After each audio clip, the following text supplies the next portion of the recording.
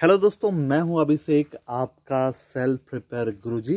तो दोस्तों, आपने सही पहचाना था, ये होंडा ही है, और ये बहुत ही बैड कंडीशन में है। हालाँकि मैं इससे और ज़्यादा ख़राब कंडीशन में खोज रहा था ताकि उसे रिपेयर करने में उतना ही ज़्यादा मज़ा आए। बट एक्चुअली ये ठीक ठाक कंडीशन में है, और बहुत ही लो कॉस्ट में मुझे मिला है। स्क्रैप का ही रेट आप कह सकते हैं स्क्रैप के रेट में मुझे मिला। तो मैंने इसे ले लिया और जितना मैं वर्स खोज रहा था उतना वर्स नहीं मिल पाया। बट फिर भी इसे रिपेयर करने में बहुत ही मज़ा आएगा और आप इसका देख सकते हैं कंडीशन बहुत सारा डेंट है इसमें और सीट का कंडीशन आप देख ही रहे हैं। एक्चुअली जो होंडा की व्हीकल्स होती है, उसका बिल्ड क्वालिटी बहुत ही अच्छा होता है और अगर आप उसे थोड़ा भी केयर से रखेंगे तो जल्दी वो स्पॉयल नहीं होता है और सेम कंडीशन इसका भी है। इसे बहुत ज़्यादा यूज़ और मिसयूज किया गया है और फिर भी ये अभी एक किक में स्टार्ट हो जाती है। यहाँ पे आप इसके इंजन के साउंड को सुन सकते हैं।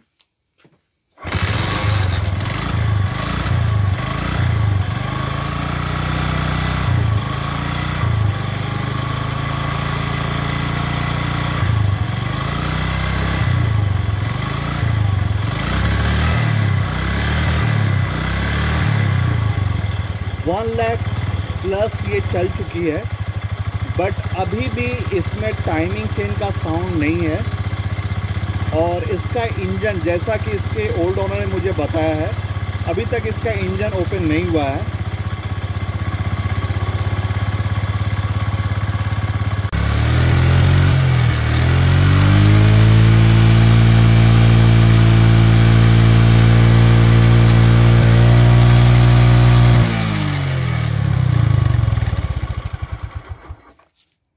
वन लाख किलोमीटर प्लस चलने के बाद भी अभी तक इसमें वाइट स्मोक का प्रॉब्लम नहीं आया है और मैंने इसे कुछ दिन राइड किया है तो इसके इंजन ऑयल का लेवल भी है वो डाउन नहीं जा रहा है।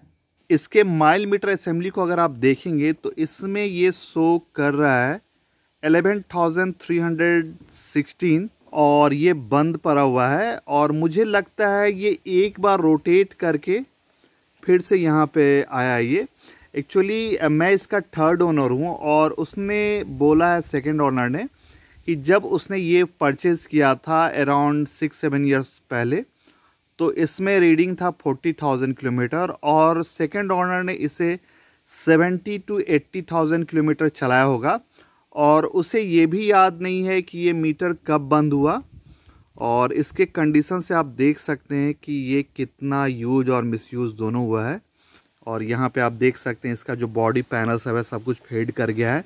और यहाँ पे इसके सीट का कंडीशन आप देख सकते हैं, सब कुछ फोम ये सब सब कुछ बाहर निकल गया है।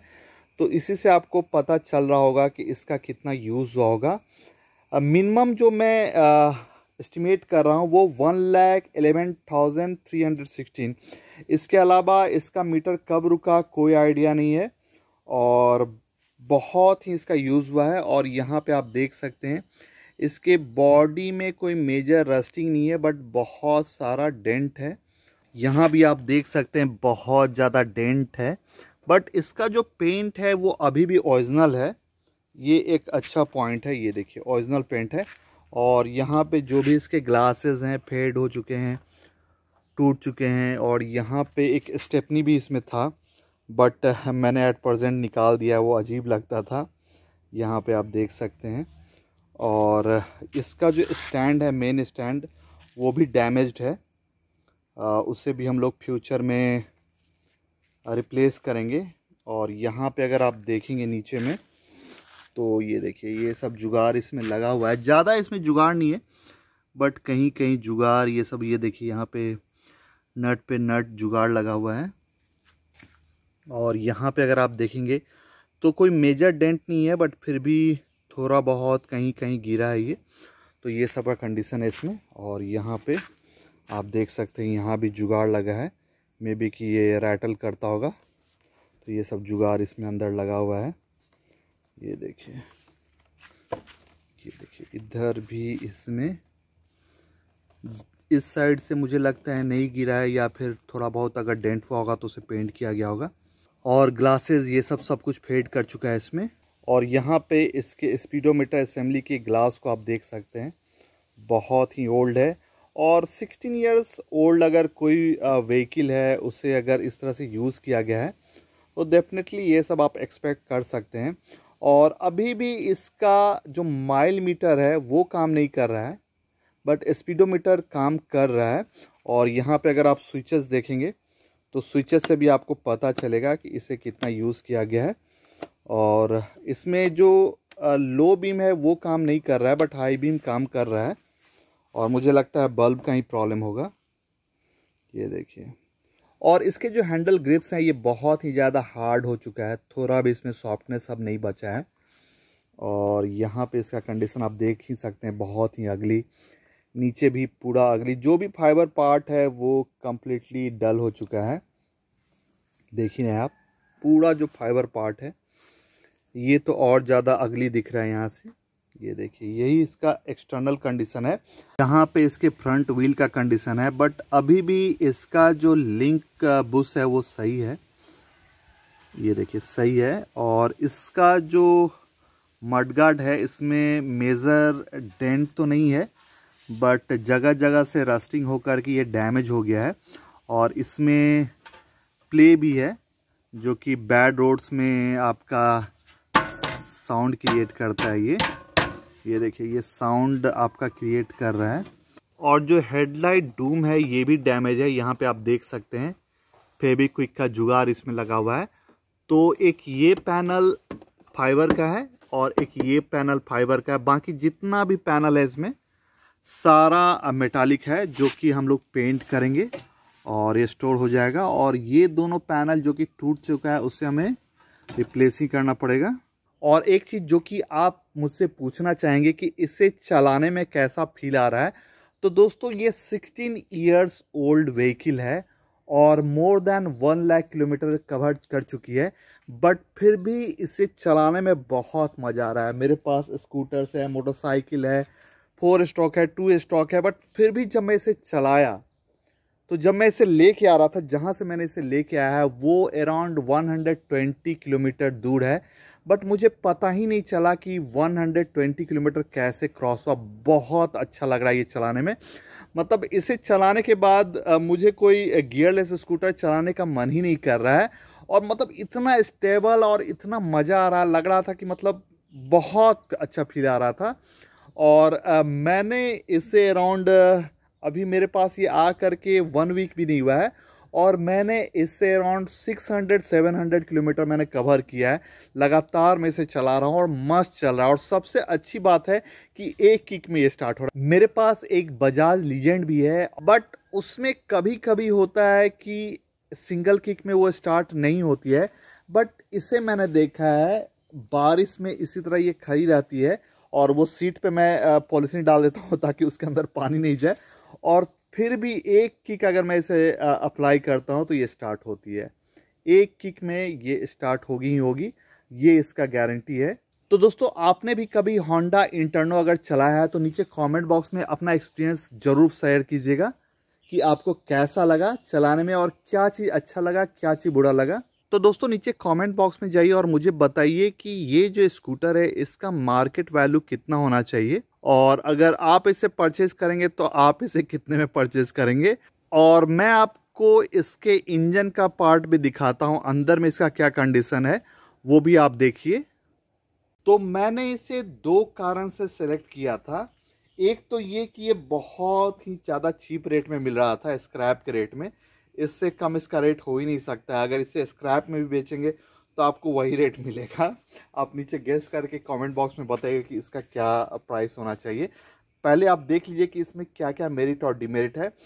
तो दूसरा जो था वो था कि इसका इंजन इसका इंजन अगर आप देखेंगे तो ओरिजिनल कंडीशन में है। कोई भी इसमें जुगाड़ नहीं कोई भी इसमें आ, कुछ ओपन किया गया नहीं है। ओरिजिनल कंडीशन में है। जैसे ये कंपनी से आया है एग्जैक्टली exactly उसी तरह से है ये। और मैंने इसके ओनर से पूछा था तो उसने बोला मुझे कि उसने बस एक बार इसका क्लच प्लेट रिप्लेस करवाया था और उसके बाद उसने सेवेंटी एट्टी थाउज़ेंड चलाया बट इसमें कोई खर्चा नहीं, कोई कुछ भी उसने नहीं करवाया। और अगर आप देखेंगे, इसके इंजन को तो बहुत ही सही कंडीशन में अभी भी है ये। और जो भी इसका नट बोल्ट जो भी है सब ओरिजिनल कंडीशन में है अनटच्ड इंजन है तो इसलिए मैंने इसे चूज़ किया। हालाँकि अगर आप इस तरह का कोई स्कूटर परचेज करने जाएँगे और आप अगर इसे ओपन करके देखने लगेंगे तो थोड़ा सा जो सेलर रहता है, वो डर जाता है कि ये क्या कर रहा है, पूरा इंजन ही ओपन करेगा क्या? यहाँ तक कि यहाँ पे जो इसका पैकिंग है, ये सब कुछ सब कुछ इसका ओरिजिनल कंडीशन में लग रहा है। ये नहीं कि इसे कुछ रिपेयर जुगाड़, ये सब कुछ नहीं है। और मैंने इसके कवर को भी ओपन करके देखा था। तो यहाँ पे ऑयल सब कुछ सही सर्कुलेशन हो रहा है। और इसमें एक बहुत बड़ा डिमेरिट है, जो कि मैं आपको थोड़ी देर के बाद बताऊँगा, जिसके कारण मुझे ये थोड़ा सा डिस्टर्ब कर रहा है। और यहाँ पे देखिए, इसके अंदर और सही ऑयल का सर्कुलेशन है, यहाँ पे आप देखेंगे। ये सही ऑयल सब कुछ बाहर आ रहा है फ्लो सही है इसका।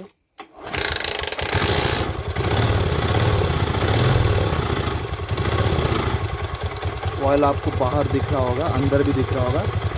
तो सर्कुलेशन सही है और इंजन का कंडीशन भी सही है।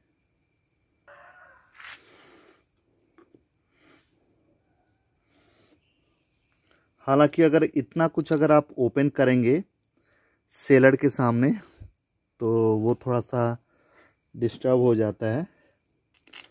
और एक जो डिमेरिट है, मैं आपको दिखाता हूँ कि इसमें क्या डिमेरिट है।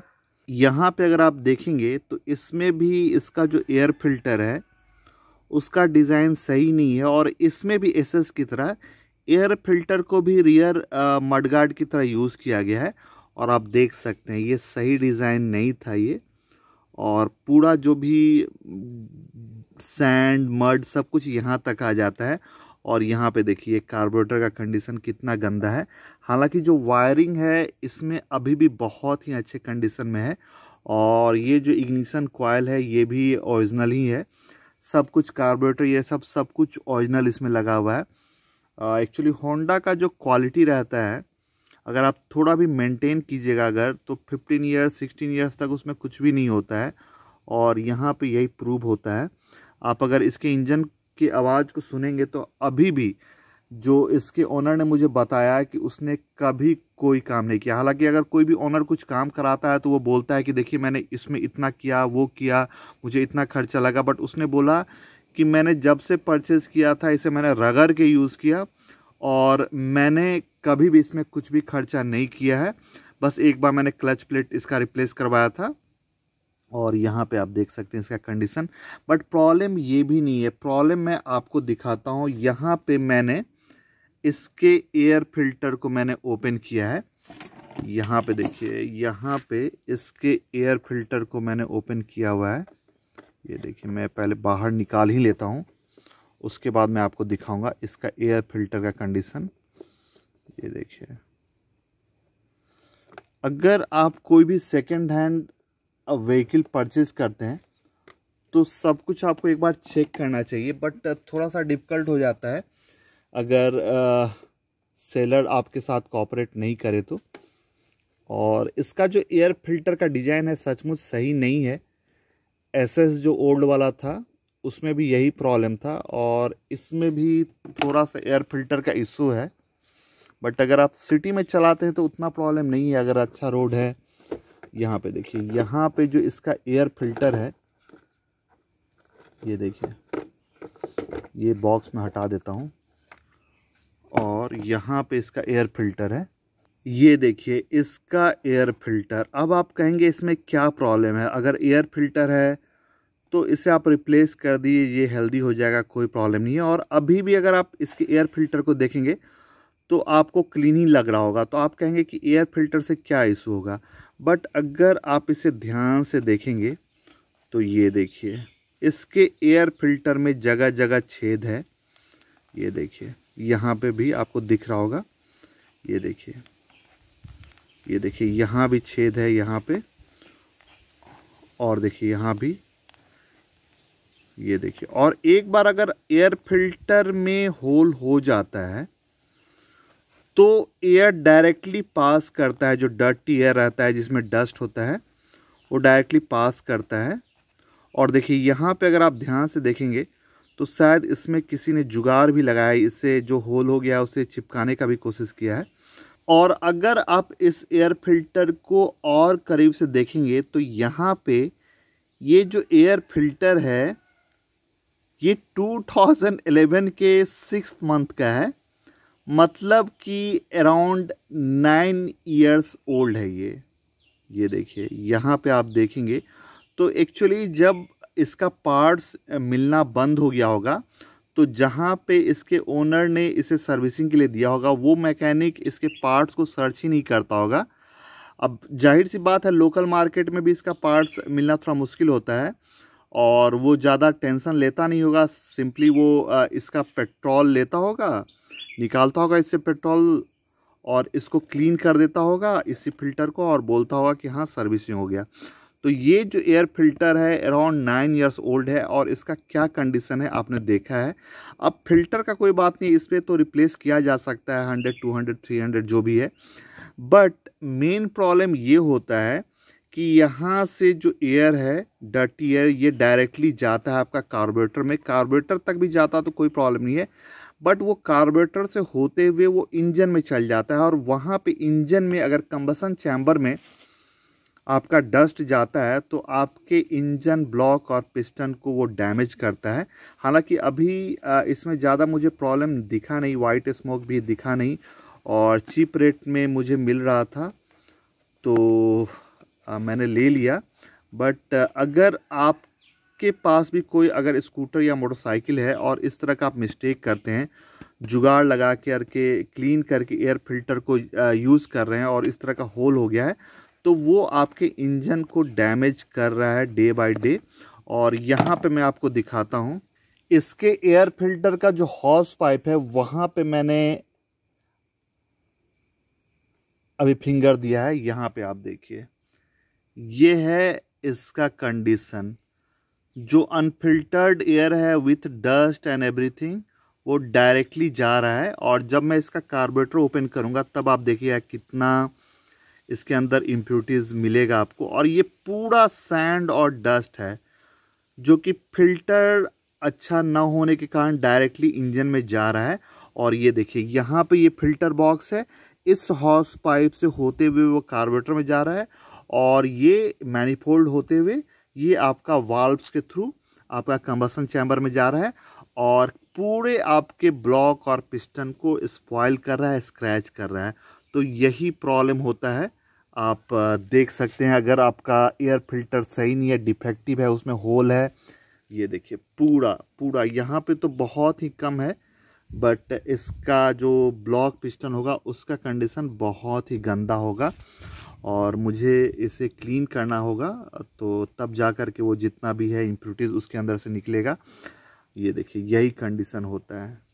तो इस स्कूटर में जो सबसे बड़ा डिमेरिट लगा मुझे वो यही लगा और इसके वजह से एक हंसता खेलता इंजन डैमेज हो रहा है डे बाय डे और ये बात मैंने उसी समय इसके ओल्ड ओनर को मैंने दिखाया। तो उसने भी एक्सेप्ट किया आ, कि ये एक बहुत बड़ा मिस्टेक है। और गलती एक्चुअली उसकी भी नहीं थी। वो मैकेनिक को देता था और वो सर्विसिंग रेगुलर करवाता था। बट इस तरह से मैकेनिक ने किया है और उसने ध्यान नहीं दिया। हालाँकि गलती मैं मैकेनिक का भी नहीं बोलूँगा। अब उसे भी बहुत सारे व्हीकल्स को सर्विस करना होता है। तब जा कर के उसे एक अमाउंट मिलता है। अब कोई एक फ़िल्टर के लिए वो दिन भर इधर से उधर मार्केट में सर्च नहीं कर सकता है। तो वही बात होता है, उसने क्लीन करके लगा दिया और इस तरह से मतलब फटा हुआ था और डायरेक्टली एयर जा रहा है, इंजन को डैमेज कर रहा है। तो यही है, कोई बात नहीं, हम लोग इसे रिपेयर करेंगे और इसे भी हम लोग वॉश कर लेंगे। और इंजन अभी भी बहुत ही अच्छे कंडीशन में है, आपने देखा है। वायरिंग हार्नेस की मैं बात करूँ तो बहुत ही अच्छे कंडीशन में इसका वायरिंग हार्नेस है। और कोई भी चूहा इधर उधर जुगाड़, ये सब कुछ नहीं लगा हुआ है। और यहाँ पे अगर आप देखेंगे तो इसका जो फ्यूल टैप का जो कंट्रोल है, जो नॉब है, ये बहुत ही यूनिक है। और यहाँ पे आप सोचेंगे कि ये फ्यूल टैप में ये केबल क्यों लगा हुआ है? तो यहाँ से ये एक्चुअली टैंक के पास कंट्रोल होता है। ये देखिए, इस तरह से ये काम करता है और बहुत ही अच्छा डिज़ाइन है, यूनिक डिज़ाइन है ये। और जो साइलेंसर मफलर है, इसमें कोई भी रस्टिंग या कोई भी होल नहीं है, बहुत ही अच्छे कंडीशन में है। आप होंडा से जो एक्सपेक्ट करते हैं, वो सब कुछ आपको इस स्कूटर में मिलेगा। बहुत ही अच्छे कंडीशन में है। इतने चलने के बाद भी और इसका फुटरेस्ट भी, यहाँ पे कोई भी गिरने का कुछ भी निशान नहीं है। बहुत ही अच्छे कंडीशन में ये। इसका जो फ्रेम है, इसमें रस्टिंग है बट कोई भी रस्टिंग ऐसा नहीं है कि जो कि बहुत ही डीप हो सीरियस हो। जब इसे हम लोग पेंट करेंगे, इस पर प्राइमर चढ़ाएँगे तो ये नॉर्मल हो जाएगा, बहुत ही अच्छे कंडीशन में आ जाएगा। और अभी भी ये बहुत ही स्ट्रांग है, ऐसा नहीं कि कोई सीरियस क्रोजन हो गया है। बहुत ही अच्छे कंडीशन में है। टैंक की भी अगर मैं बात करूँ तो बहुत ही अच्छे कंडीशन में है और अंदर में बहुत ज़्यादा डर्टी है। बट रस्टिंग अभी थोड़ा सा भी इसके अंदर नहीं आया है। तो टैंक भी बहुत ही अच्छे कंडीशन में है। और इसका कैप अगली दिख रहा है तो इसे हम लोग पेंट करेंगे। और इसका जो फाइबर पार्ट है, ये डल हो गया है और ये यूवी रेज से होता है और ये नॉर्मल है। तो हम लोग ट्राई करेंगे कि ये नया पैनल अगर मिल जाए तो ठीक है, नहीं तो एट लास्ट इससे मैट ब्लैक से पेंट करके काम चलाना पड़ेगा। हालाँकि मैं वो मैट ब्लैक वाला हमेशा प्रेफर नहीं करता हूँ जब कोई लास्ट ऑप्शन हो तभी मैं करता हूँ। और यहाँ पे अगर इसके की को देखेंगे तो ये देखिए, ये हीरो होंडा का है एक्चुअली तो मुझे ये प्लेज़र का लग रहा है, ये जो की सेट है, ये चेंज हुआ होगा। और इसी से पता चलता है कि ये जो स्कूटर है, कितना चला होगा। यहाँ पे अगर आप इसके किक लीवर को देखेंगे तो यहाँ से ये लूज़ है। और अगर आप इसे इसी तरह यूज़ करेंगे तो ये जो इसका स्प्लाइन है, ये डैमेज हो जाता है और फिर कंप्लीट इंजन ही ओपन करना पड़ता है इसको चेंज करने के लिए। बहुत लोग जुगाड़ लगाते हैं यहाँ पे कि वेल्ड ही करा देते हैं। तो वो शुरू में तो काम कर जाता है बट बाद में उसे कट करके निकालना पड़ता है।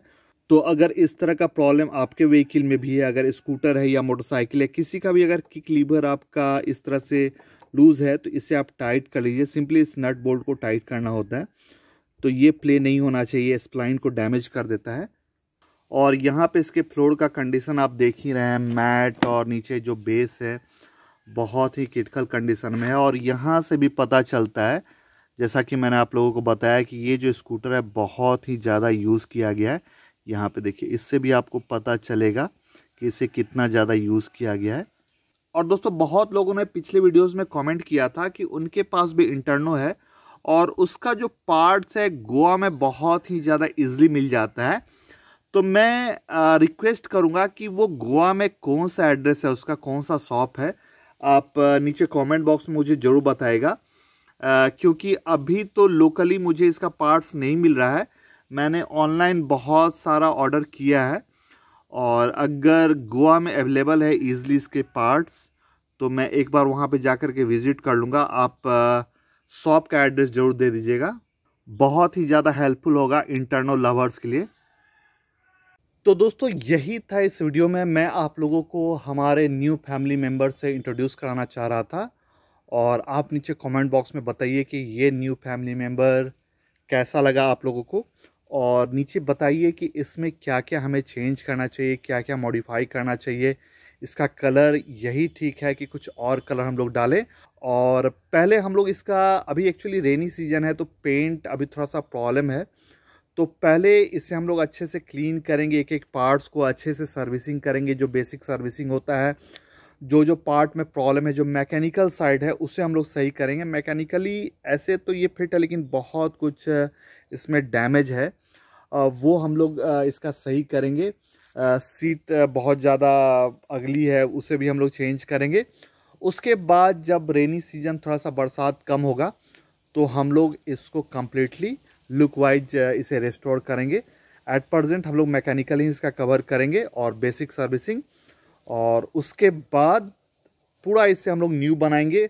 और मुझे लगता है कि इसका जो फाइबर पोर्शन है, अगर इसका पार्ट्स मिल जाए तो बहुत ही अच्छा होगा। हालाँकि मिलना चाहिए आ, मिलता तो है बट अगर आफ्टर मार्केट में अच्छा पार्ट नहीं मिलता है तो फिर वो क्वालिटी नहीं रहता है तो वो बुरा लगता है। तो हम लोग ट्राई करेंगे कि इसका ज़्यादा से ज़्यादा पार्ट्स मिल सके और इसे हम लोग बहुत ही अच्छे से रेस्टोर कर सकें और इसे कंप्लीट शोरूम कंडीशन में कन्वर्ट करना है एक एक पार्ट को। और जो भी इसमें जिंक कोटिंग है जो भी रस्टिंग है जो कि वियर कर चुका है नट्स बोल्ट सब कुछ को जिंक कोटिंग भी किया जाएगा। और बहुत ही अच्छे कंडीशन में ये आएगा। और ये एक फैमिली मेंबर है, हालाँकि एक दो फैमिली मेंबर्स और ऐड होने वाला है। तो उसके लिए आप वेट कीजिएगा, बहुत ही जल्दी आने वाला है। तो दोस्तों प्लीज़ वीडियो को लाइक किया, अपने दोस्तों में शेयर किए चैनल सब्सक्राइब किया और साथ में उस बेल आइकन को प्रेस किया ताकि जब भी मैं कोई नया वीडियो आपके लिए लाऊं तो आपको उसका नोटिफिकेशन मिल सके और आप उसे सबसे पहले देख सकें। And at last thank you thank you for watching मिलते हैं नेक्स्ट वीडियो में।